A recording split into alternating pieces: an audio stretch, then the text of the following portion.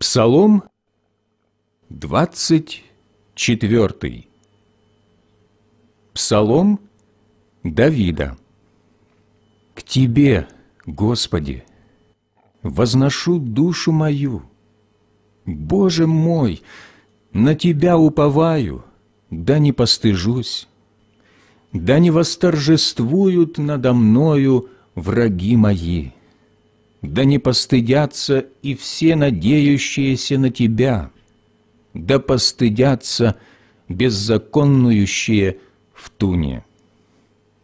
Укажи мне, Господи, пути Твои, и научи меня стезям Твоим, направь меня на истину Твою и научи меня, ибо Ты – Бог спасения моего. На Тебя надеюсь всякий день. Вспомни щедроты Твои, Господи, и милости Твои, ибо они от века. Грехов юности моей и преступлений моих не вспоминай. По милости Твоей вспомни меня Ты ради благости Твоей, Господи. Благ и праведен Господь, посему наставляет грешников на путь, направляет кротких к правде и научает кротких путям своим.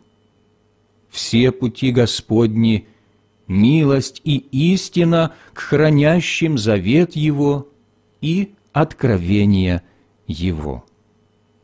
Ради имени Твоего – Господи, прости согрешение мое, ибо велико оно.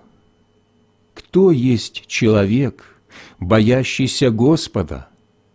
Ему укажет Он путь, который избрать.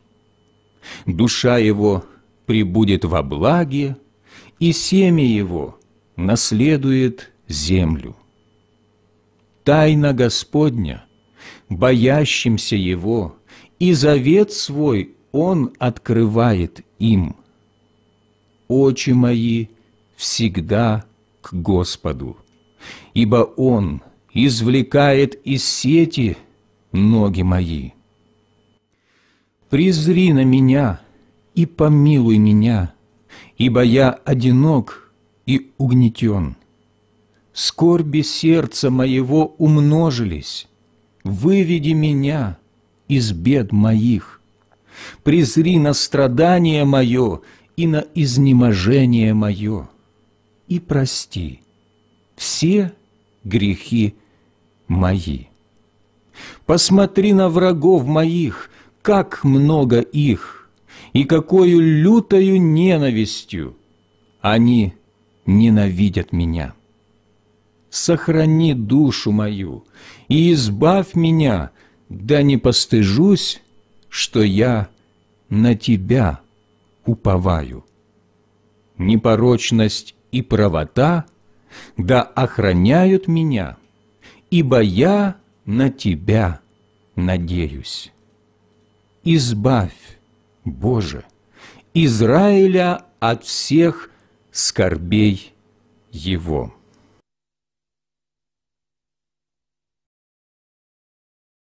Евангелие от Матфея, глава 24. И выйдя, Иисус шел от храма, и приступили ученики Его, чтобы показать Ему здание храма. Иисус же сказал им, «Видите ли все это? Истинно говорю вам, не останется здесь камня на камне. Все будет разрушено. Когда же сидел он на горе Елеонской, то приступили к нему ученики наедине и спросили, «Скажи нам, когда это будет, и какой признак твоего пришествия и кончины века?» Иисус сказал им в ответ – берегитесь, чтобы кто не прельстил вас. Ибо многие придут под именем Моим и будут говорить, «Я Христос», и многих прельстят. Также услышите о войнах и о военных слухах. Смотрите, не ужасайтесь, ибо надлежит всему тому быть, но это еще не конец. Ибо восстанет народ на народ, и царство на царство, и будут глады, моры и землетрясения по местам. Все же это начало болезней. Тогда будут предавать вас на мучения и убивать вас, и вы будете ненавидимы всеми народами за имя Мое. И тогда соблазнятся многие, и друг друга будут предавать, и возненавидят друг друга. И многие лжепророки восстанут и прельстят многих. И по причине умножения беззакония во многих охладеет любовь претерпевший же до конца спасется. И проповедано будет сие Евангелие Царствия по всей вселенной, во свидетельство всем народам. И тогда придет конец. Итак, когда увидите мерзость запустения, реченную через пророка Даниила, стоящую на святом месте, читающий да разумеет.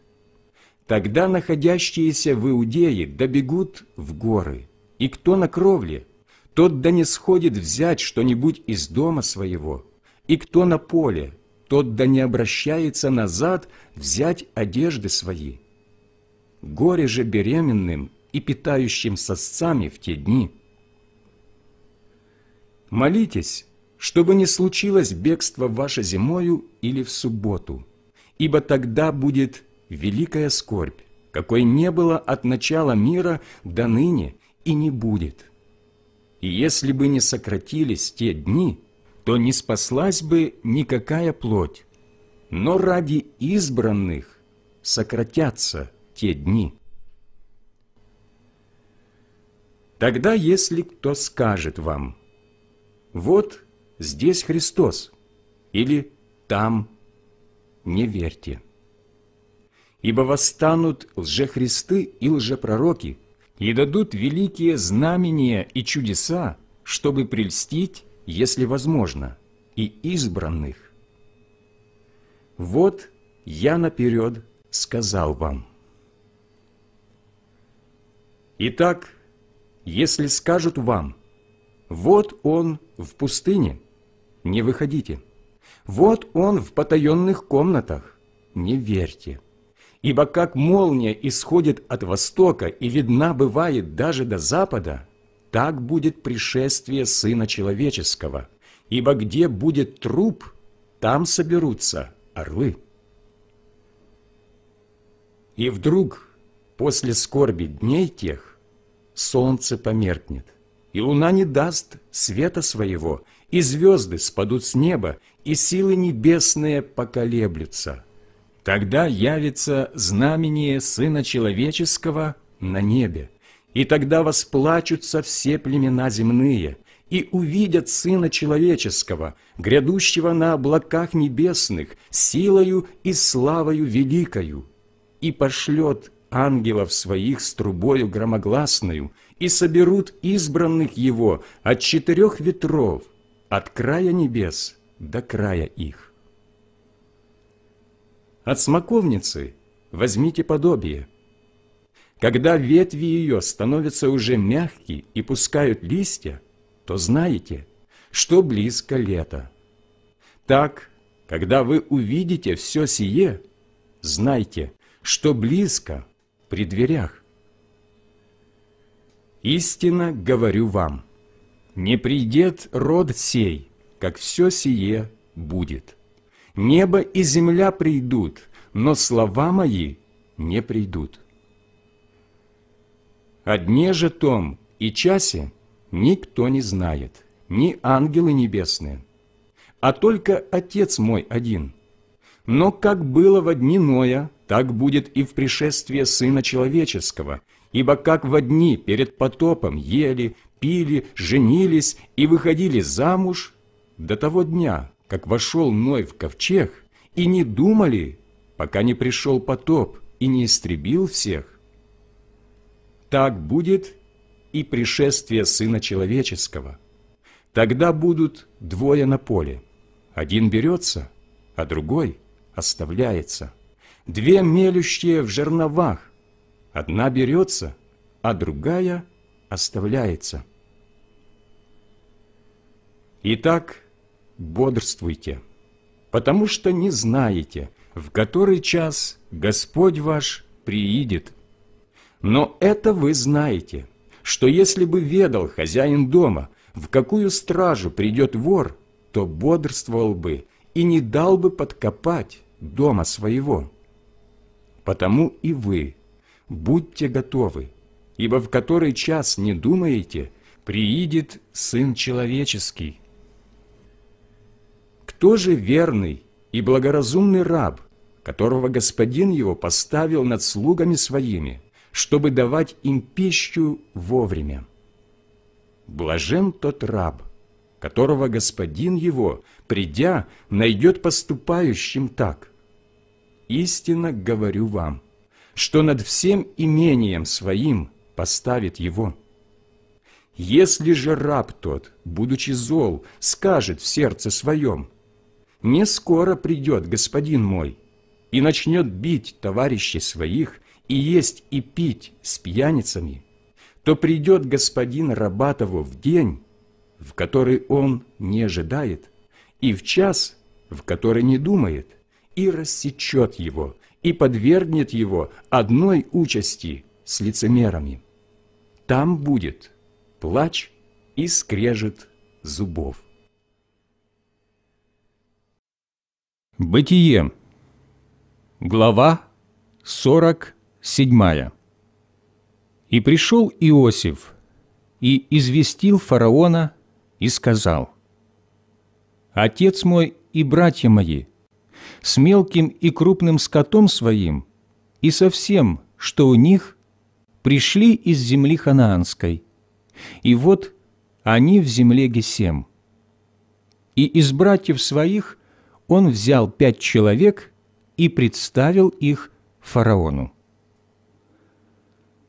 И сказал фараон братьям его, «Какое ваше занятие?» Они сказали фараону, «Пастухи овец, рабы твои, и мы, и отцы наши». И сказали они фараону,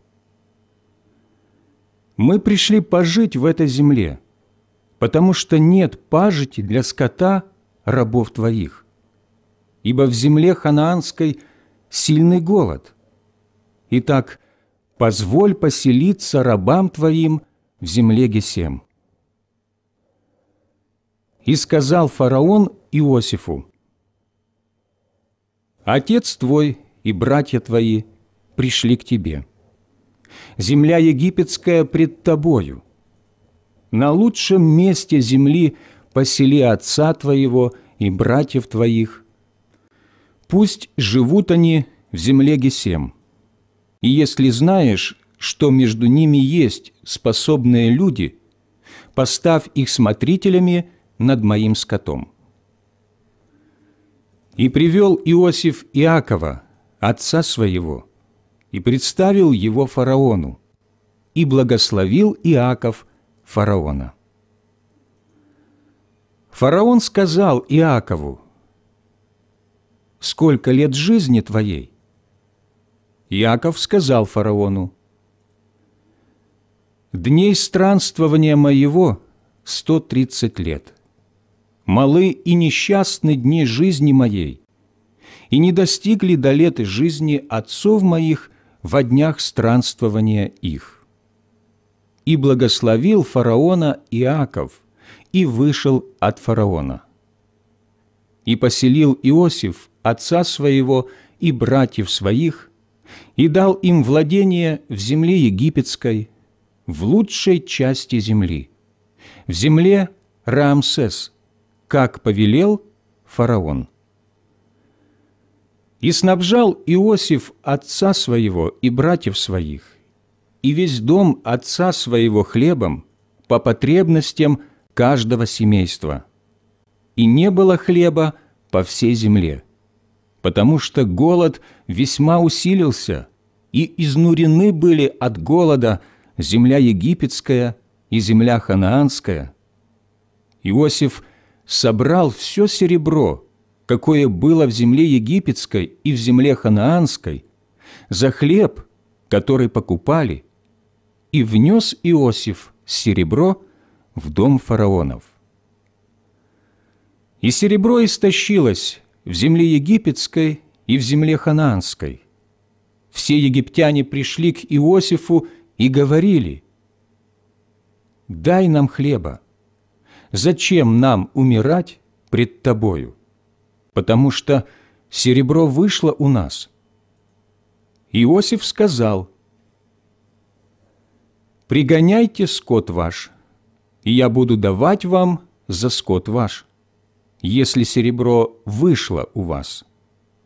И пригоняли они к Иосифу скот свой, и давал им Иосиф хлеб за лошадей и за стада мелкого скота, и за стада крупного скота, и за ослов, и снабжал их хлебом в тот год за весь скот их.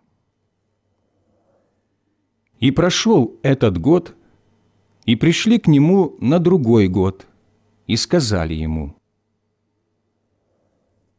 «Не скроем от господина нашего, что серебро истощилось, и стада скота нашего у господина нашего.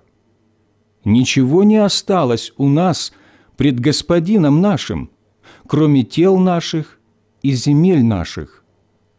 Для чего нам погибать в глазах Твоих, и нам, и землям нашим? Купи нас, и земли наши, за хлеб. И мы с землями нашими будем рабами фараону, а Ты дай нам семян, чтобы нам быть живыми и не умереть, и чтобы не опустела земля. И купил Иосиф всю землю египетскую для фараона, потому что продали египтяне каждый свое поле, ибо голод одолевал их, и досталась земля фараону. И народ сделал он рабами от одного конца Египта до другого. Только земли жрецов не купил, ибо жрецам от фараона положен был участок, и они питались своим участком, который дал им фараон, посему и не продали земли своей. И сказал Иосиф народу, «Вот я купил теперь для фараона вас и землю вашу. Вот вам семена, и засевайте землю. Когда будет жатва, давайте пятую часть фараону, а четыре части останутся вам на засеяние полей, на пропитание вам и тем, кто в домах ваших, и на пропитание детям вашим». Они сказали –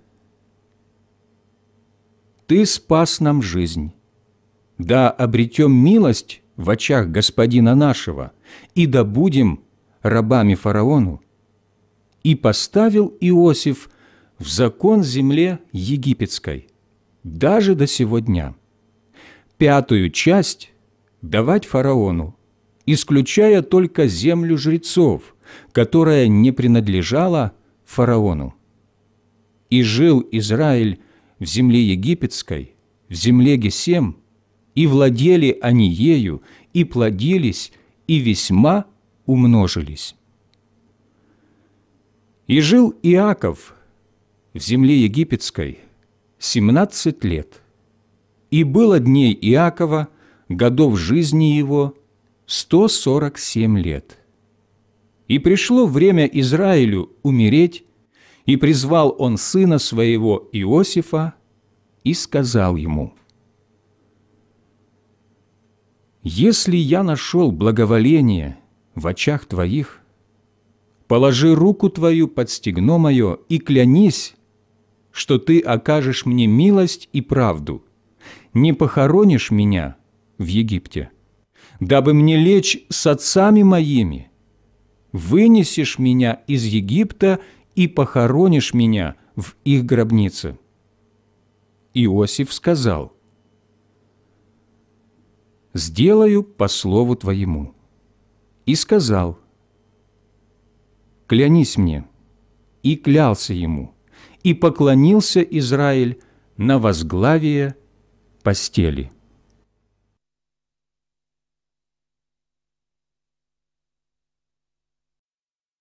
Бытие. Глава 48. После того Иосифу сказали,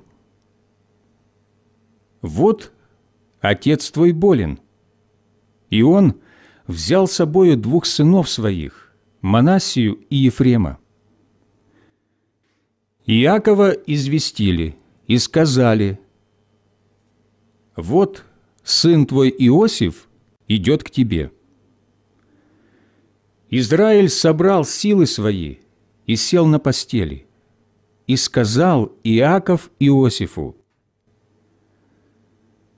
«Бог всемогущий явился мне в Лузе, в земле ханаанской, и благословил меня, и сказал мне, «Вот я расположу тебя и размножу тебя, и произведу от тебя множество народов, и дам землю сию потомству твоему после тебя вечное владение. И ныне два сына твои, родившиеся тебе в земле египетской, до моего прибытия к тебе в Египет, мои они. Ефрем и Манасия, как Рувим и Симеон, будут мои. Дети же твои – которые родятся от тебя после них, будут твои. Они под именем братьев своих будут именоваться в их уделе. Когда я шел из Месопотамии, умерла у меня Рахиль в земле ханаанской на дороге, не доходя несколько до Ефрафы, и я похоронил ее там, на дороге к Ефрафе, что ныне Вифлеем. И увидел Израиль сыновей Иосифа и сказал, «Кто это?» И сказал Иосиф отцу своему, «Это сыновья мои, которых Бог дал мне здесь». Иаков сказал, «Подведи их ко мне, и я благословлю их, Глаза же Израилевы притупились от старости. Не мог он видеть ясно. Иосиф подвел их к нему, и он поцеловал их и обнял их. И сказал Израиль Иосифу, «Не надеялся я видеть твое лице, но вот Бог показал мне и детей твоих, и отвел их Иосиф от колен его и поклонился ему лицем своим до земли. И взял Иосиф обоих, Ефрема в правую свою руку против левой Израиля, а Манасию в левую против правой Израиля, и подвел к нему. Но Израиль простер правую руку свою и положил на голову Ефрему, хотя сей был меньший, а левую – на голову Манасии. С намерением положил он так руки свои, хотя Манасия был первенец. И благословил Иосифа и сказал, «Бог, пред которым ходили отцы мои, Авраам и Исаак, Бог, пасущий меня с тех пор, как я существую, до сего дня, ангел, избавляющий меня от всякого зла, да благословит отрока всех. Да будет на них наречено имя Мое, и имя отцов моих, Авраама и Исаака, и да возрастут они во множество посреди земли. И увидел Иосиф, что отец его положил правую руку свою на голову Ефрема, и прискорбно было ему это. И взял он руку отца своего, чтобы переложить ее с головы Ефрема на голову Манасии. И сказал Иосиф отцу своему, «Не так, отец мой, ибо это первенец. Положи на его голову правую руку твою». Но отец его не согласился и сказал, «Знаю, сын мой, знаю, и от него произойдет народ, и он будет велик. Но меньший его брат будет больше его, и от семени его произойдет многочисленный народ. И благословил их в тот день, говоря, «Тобою будет благословлять Израиль, говоря, Бог да сотворит тебе, как Ефрему и Манасии, и поставил Ефрема выше Манасии. И сказал Израиль Иосифу,